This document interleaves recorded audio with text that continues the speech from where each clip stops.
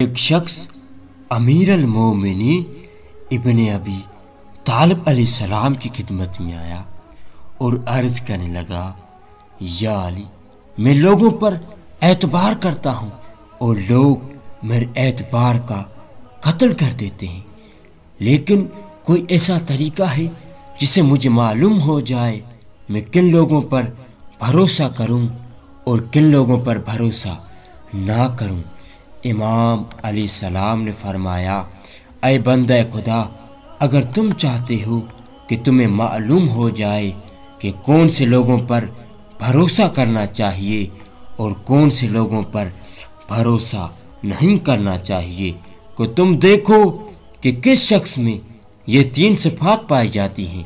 تو وہ شخص کہنے لگا، یا علی، کون سے تین صفات؟ امام علیہ السلام نے فرمایا کہ تمہاری حسیمی پوشیدہ درد کو کون محسوس کرتا ہے؟ تمہارے غصے میں تمہارا پیار کون محسوس کرتا ہے؟ تمہاری خاموشی میں پوشیدہ درد کو کون محسوس کرتا ہے؟ جو شخص تمہاری یہ تین چیزیں محسوس کر پائے، تو سمجھ جاؤ اس شخص پر اعتبار کیا جا سکتا ہے اور وہ شخص تمہارا بھروسہ کبھی نہیں توڑے گا۔ تمہارا بھروسہ کبھی نہیں